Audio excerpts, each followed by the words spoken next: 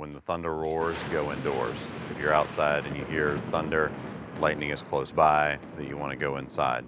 Um, you want to give yourself at least 30 minutes that if you hear thunder or see lightning to get inside, uh, and then wait about 30 minutes from the last time that you hear thunder before you go back outside. Just because you're inside does not mean that you are you know, necessarily safe from lightning. Uh, about one third of all lightning strikes actually occur with individuals that are inside.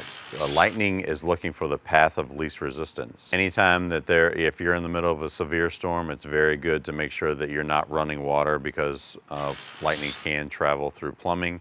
If you're in the shower, you probably want to get out as quickly as you possibly can, get dried off.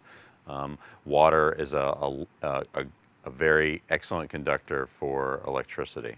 Electricity can travel through uh, several conduits. One is plumbing, uh, the other is electrical, and believe it or not, the other is concrete. Uh, one of the worst things that you can do is actually stand or lay on a concrete floor. Um, that's simply because lightning can travel through the ground, it can travel through the rebar that's inside concrete, uh, and then when you're in contact with that concrete, you have that um, possibility of being exposed.